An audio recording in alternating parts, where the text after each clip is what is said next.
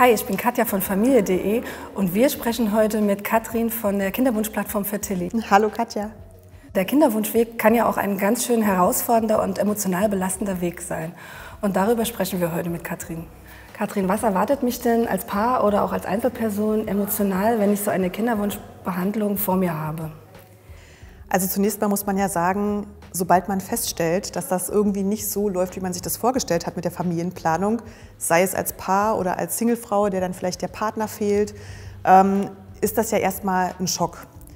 Aber das ist eben nichts, was so ganz plötzlich kommt, sondern man stellt halt im Laufe des Prozesses fest, also zum Beispiel als Paar, dass das eben nicht so einfach ist, schwanger zu werden, dass man noch einen Versuch braucht und noch einen Versuch. Jeden Monat guckt man halt, hat es geklappt oder nicht. Also das ist ja schon eine große Belastung.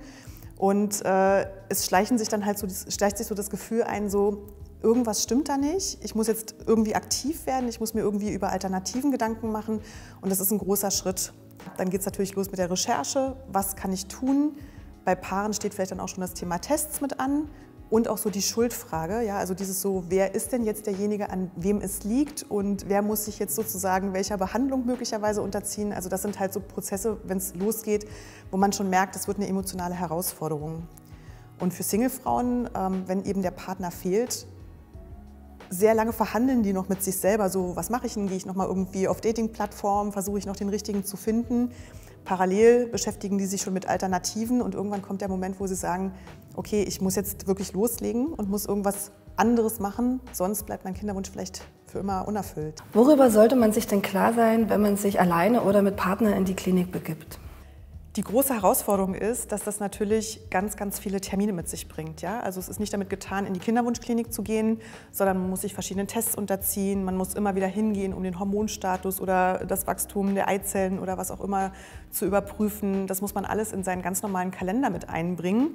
Und teilweise sind das auch super kurzfristige Termine. Das heißt, es wird schon mal eine organisatorische Herausforderung, das alles zu meistern. Dann kommt natürlich die mentale Belastung dazu.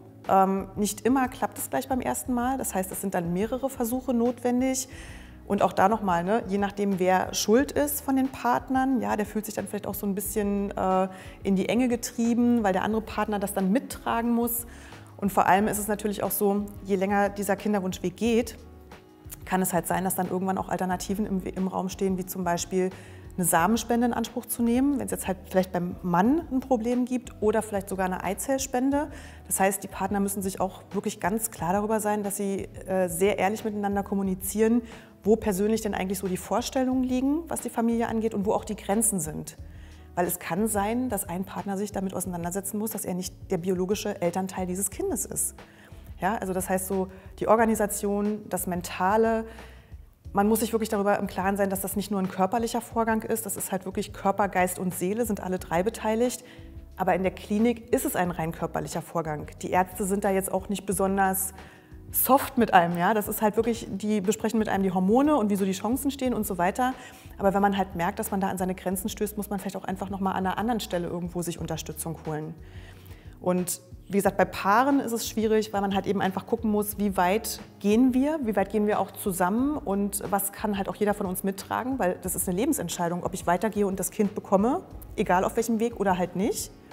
Und bei Singles ist halt die große Frage, wie weit mache ich das alleine? Kann ich, kann ich mit all den Sorgen, die ich dazu so habe, kann ich die für mich lösen und kann ich dann diesen Weg auch wirklich gehen?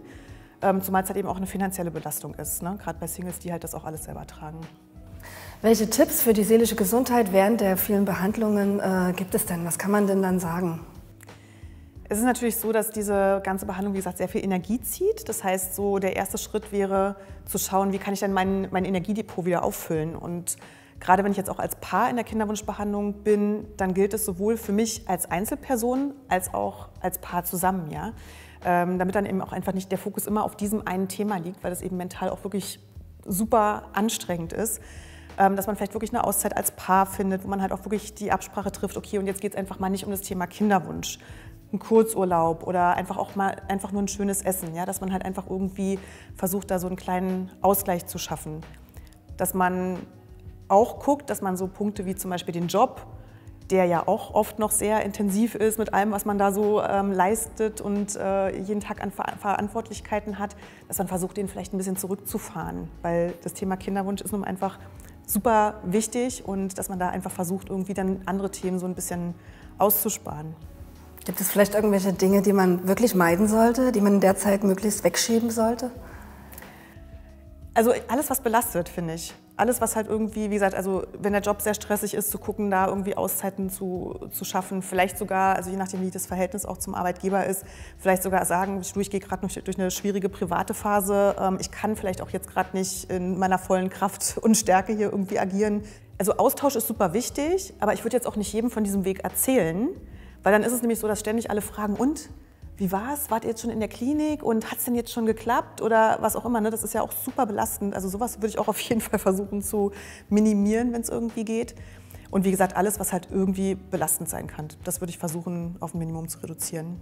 Wie sieht es denn aus mit der psychischen Hilfe in den Praxen selber? Also gibt es begleitend zu der rein medizinischen Seite irgendwelche psychischen Hilfe, die einem angeboten wird? Das kommt so ein bisschen auf die Kliniken an. Also einige haben erkannt, dass es eben nicht nur ist, so hier was reparieren, sondern dass es halt eben so ein ganzheitliches Ding ist und äh, man da auch wirklich ähm, Fachpersonal einfach empfiehlt, das da unterstützen kann. Das können halt es gibt Heilpraktiker für Psychotherapie, die auf Kinderwunsch ähm, spezialisiert sind. Es gibt Coaches, die darauf spezialisiert sind. Das Einfachste ist einfach, dass man so für sich schaut, okay, was würde mir jetzt gut tun?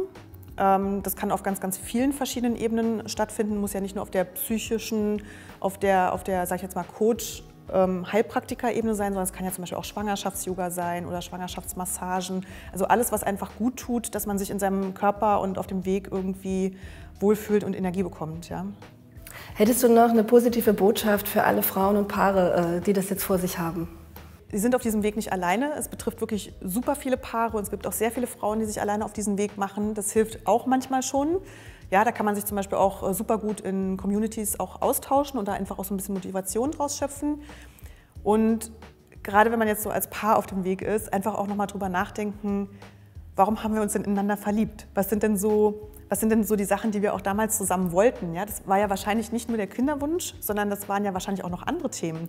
Und äh, da einfach auf dieser Basis nochmal zu schauen, was können wir für eine Vision für unser Leben entwickeln, die nicht unbedingt an diesen Kinderwunsch gekoppelt ist. Klar, das wäre super traurig, aber einfach sich auch wirklich nochmal damit zu beschäftigen, wie kann es weitergehen? Was können, wir, was können wir noch zusammen machen? Was sind so Themen, die uns verbinden, die uns schon immer verbunden haben und die wir vielleicht dann einfach auch noch weiterentwickeln können? Und das kann man auch schon auf dem Kinderwunschweg machen, um auch einfach diesen Fokus so ein bisschen wegzunehmen, dass man sich wirklich permanent nur um dieses Thema ähm, unterhält, sondern dass man so ein bisschen so einen Ausblick darauf hat, was das Leben noch alles zu bieten hat. Ja. Weitere Infos findet ihr bei familie.de in der Rubrik Kinderwunsch und ihr könnt euch natürlich auch bei Fertilli umschauen.